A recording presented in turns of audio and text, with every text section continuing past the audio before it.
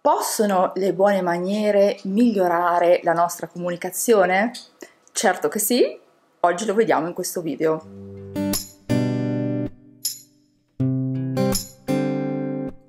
Quando si parla di comunicazione si parla fondamentalmente di rapporti interpersonali, quindi abbiamo a che fare con altre persone e se amiamo le buone maniere sappiamo che queste principalmente servono per dimostrare rispetto nei confronti altrui, anche nei nostri, ma in questo caso si parla del rispetto nei confronti altrui.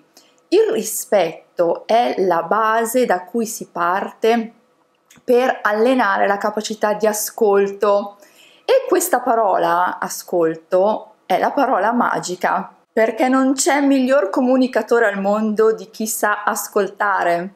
Oggigiorno siamo tutti molto bravi a parlare, ma non tanto ad ascoltare. Ecco, in questo senso le buone maniere ci aiutano molto ad andare verso questa capacità, a svilupparla e a rendersi conto di quanto sia utile nella comunicazione. Sicuramente essere capaci di ascoltare fa sentire accolto chi abbiamo di fronte, ma non vedetela soltanto sotto l'aspetto dell'altruismo, perché il saper ascoltare, di conseguenza il far sentire accolti chi c'è di fronte, fa sì che predisponga il soggetto o il gruppo con cui stiamo parlando a essere aperti nei nostri confronti e quindi ad accoglierci a loro volta. Quindi quello che vi consiglio io di tenere sempre a mente è che la comunicazione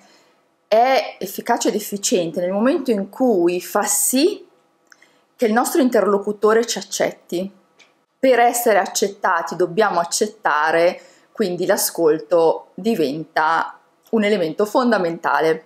Mi rendo conto poi che in questo momento scendo un po' in un tecnicismo che fa più parte del marketing, ma guardate che alla fine di tutto si parla sempre e comunque della stessa cosa, e cioè della comunicazione e delle capacità che noi abbiamo e che sviluppiamo per eh, avere dei rapporti intersociali migliori. Perché io associo le buone maniere all'efficacia della comunicazione, non solo per incitarvi a, a migliorare la vostra capacità di ascolto, ma anche a coltivare le buone maniere perché sono queste che in un certo senso ci danno quella marcia in più per essere ricordati e, e suscitare un ricordo che sia per noi favorevole.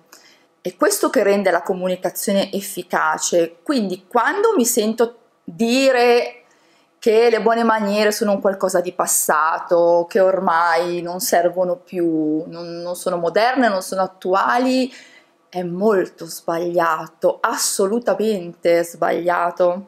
Poi tra l'altro se voi notate io uso sempre e preferibilmente il termine buone maniere non galateo perché il galateo è, è già proprio una parola che richiama forse un po' mh, mm, rigidità. Io non voglio che le buone maniere vengano viste così, ma il galateo di per sé non è così non dobbiamo vederlo in modo rigido, lo dobbiamo vedere come un nostro alleato, quindi le buone maniere sono ehm, un aiuto che ci viene incontro quando vogliamo stare insieme agli altri. Poi sorrido anche perché quando mi viene detto così, oh, ma le buone maniere, cosa vuoi che servano? Ma vi siete guardati in giro?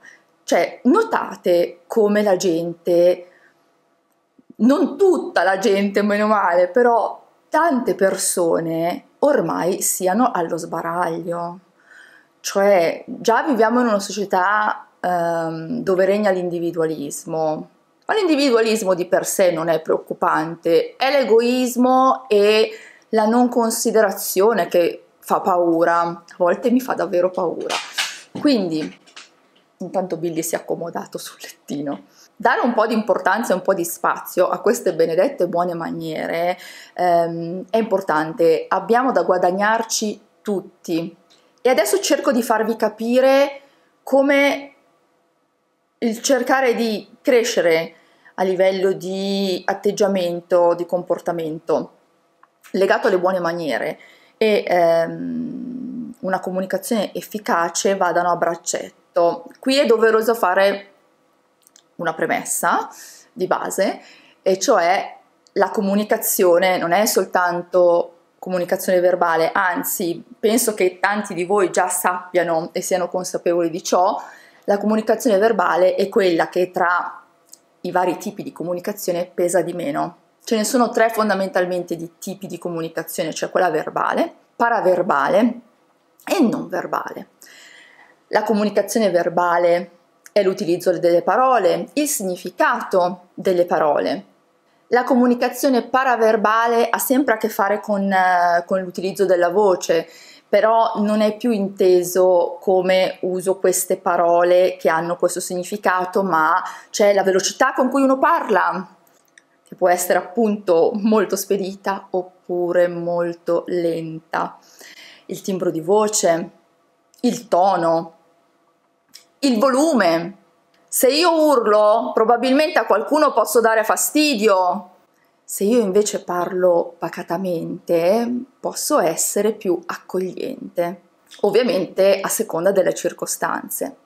E infine c'è la comunicazione non verbale che è quella, lo sapete già, non lo sapete, scrivetemelo nei commenti, più importante di tutte. La comunicazione non verbale consiste nella postura, eh, qui possiamo già fare un aggancio al discorso dell'ascolto. Se io ho una postura eretta, occhi belli aperti, un'espressione del viso accogliente, questo fa sì che il nostro interlocutore si senta ascoltato. Se io comincio a stare così, a guardare di là, capite che chi ci sta parlando può pensare ma questo mi ascolta o no?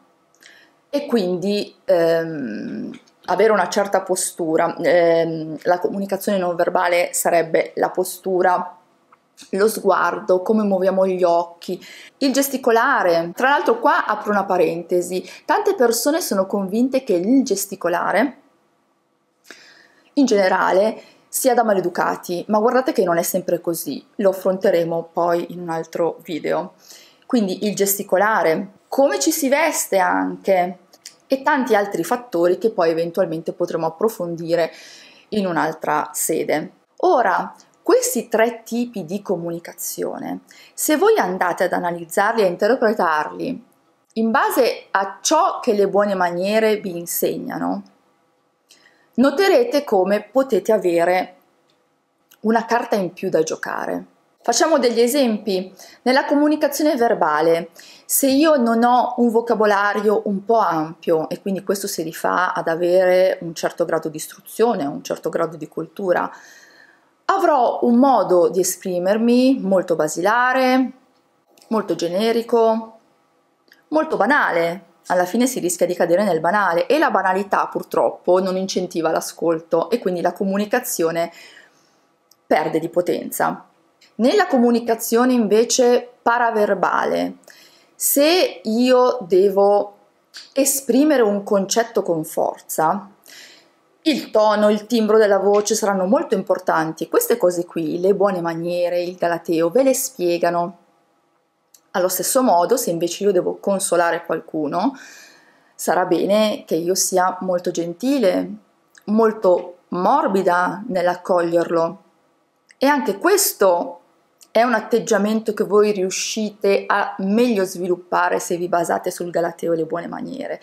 Quindi altro che regole passate, sono regole molto utili se uno vuole, se una persona vuole riuscire anche a far percepire quali sono le sue vere intenzioni. Comunicazione non verbale, ve l'ho già detto prima, una postura eretta, questo ve lo insegna il Galateo, eh, è importantissima per far sentire ascoltate le persone con cui state interloquendo. Il fatto di non guardare in giro e poi anche solo il conoscere determinate sfumature, tipo il fatto di toccarsi sempre i capelli, eh, toccarsi il viso, c'è un mondo dietro queste cose, veramente. Qui è solo accennato, però ha un suo significato e sono tutti elementi che magari presi singolarmente non vi riescono a dir tanto, ma tutti insieme sono una potenza. Perché poi vi parlo della comunicazione, essendo io legata alle buone maniere e alla crescita personale?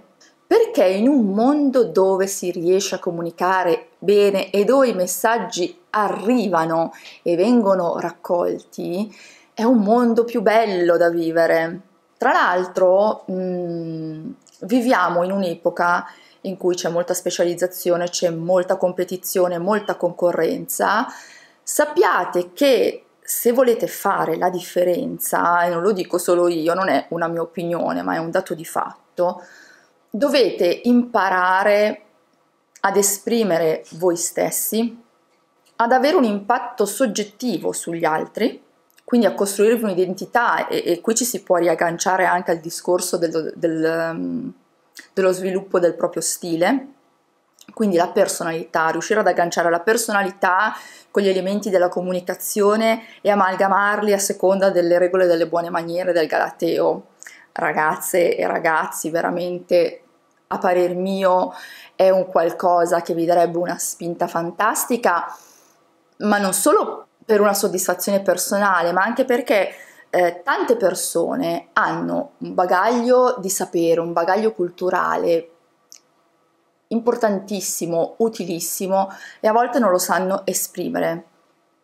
Perché manca questo, questo elemento, cioè la comunicazione efficace, che non deve essere solo efficace ai giorni nostri, ma deve essere anche gentile, io la metto sempre sul piano dell'evoluzione, cioè a me farebbe tanto piacere che noi esseri umani continuassimo ad evolverci.